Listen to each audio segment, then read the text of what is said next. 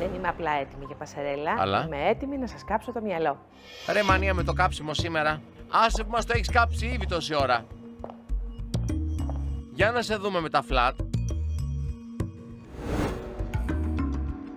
Έτοιμες κορίτσια; Τζένι, δεν βρω έξω. Α, καλά τι έβαλε από πάνω την Άρτα και τα Γιάννανα, καλά έλεγε η άλλη. Πω. Ποιας ομάδας είναι το κασκόλ, της ΑΕΛ ή της προοδευτικής;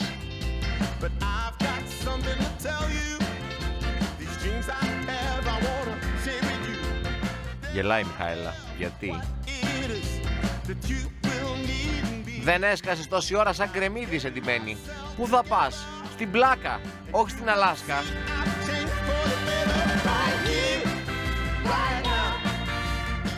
Η Τζέννη μου είσαι πολύ όμορφη, είσαι πολύ κομψή. Τα παπούτσια σου είναι ολόσωστα. Φοράς ένα ζευγάρι μαύρα μοκασίνια. Θα ήθελα να έχεις επιλέξει το άλλο φόρεμα, το πλεκτό με τις πλεξούδες. Είναι πιο άνετο, πιο πρωινό. Σίγουρα πιο σωστό για μία βόλτα στην πλάκα. Όμως και έτσι είσαι πάρα πολύ όμορφη. Σου λείπουν τώρα τα κοσμήματα φυσικά. Δύο βραχιόλια, ένα ζευγάρι σκουλαρίκια, ωραία κουμπάκια για να είσαι η πιο κλασάτη της πλάκας. Πάμε και το δεύτερο γύρο.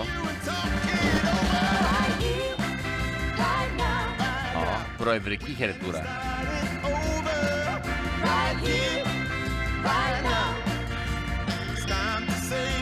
Πώς ένιωσες την πασαρέλα Τζένι μου; Στην πασαρέλα ένιωσα πολύ ωραία, άνετα.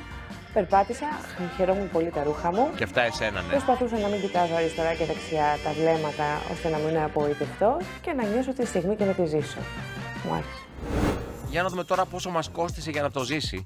Για το παλτό η Τζέννη πλήρωσε 119 ευρώ, για το φόρεμα 27, τα μοκασίνια κόστησαν 69 ευρώ, η τσάντα 35 και το κασκόλ 18.